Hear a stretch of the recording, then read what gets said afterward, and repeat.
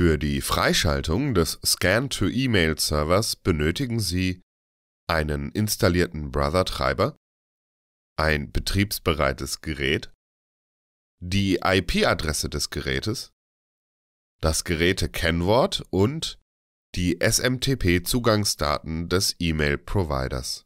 Rufen Sie das Brother Solutions Center auf. Dort finden Sie Ihren benötigten Druckertreiber unter brother.de Support, Treiber und Downloads. Im Solutions Center wählen Sie Ihr Gerätemodell und klicken auf die blau unterlegte Gerätebezeichnung oder betätigen die Enter-Taste. Daraufhin gelangen Sie in den Download-Bereich und klicken auf Downloads anzeigen. Im nächsten Fenster sollte das verwendete Betriebssystem bereits vorausgewählt sein.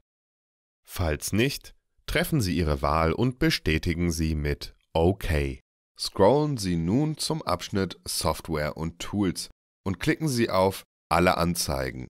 In der nun aufgeklappten Liste wählen Sie den Eintrag Internet Fax Installationstool. Nachdem Sie die EULA akzeptiert haben, startet der Download. Ist er erfolgreich abgeschlossen, navigieren Sie in den Download-Pfad und starten die heruntergeladene Exe-Datei brl-fax.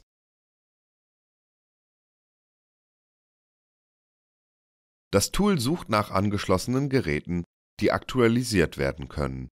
Achten Sie darauf, dass auf dem ausgewählten Gerät der Original-Brother-Treiber installiert sein muss. Klicken Sie auf Weiter und stimmen Sie der Speicherung von Seriennummer, Modellname und Firmware-Version auf einem Brother-Server zu. Die nachfolgende Information übergehen Sie mit Weiter. Nach Eingabe des Geräte-Kennworts gelangen Sie auf die Web-Oberfläche des Gerätes und die Freischaltung des Scan-to-E-Mail-Servers erfolgt.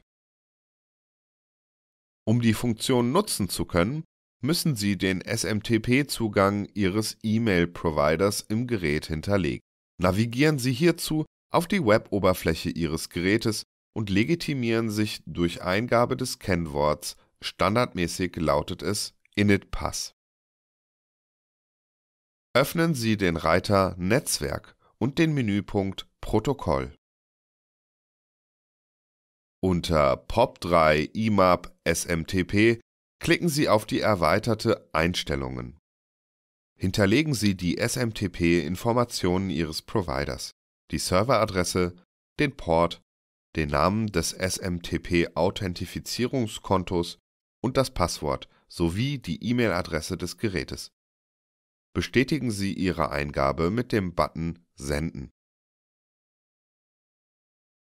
Die korrekte Funktion des E-Mail-Versands kann nun durch Eingabe einer E-Mail-Zieladresse getestet werden. Sind alle Eingaben korrekt, bekommen Sie eine entsprechende Rückmeldung. Die Funktion Scan to E-Mail Server kann jetzt über das Gerätedisplay benutzt werden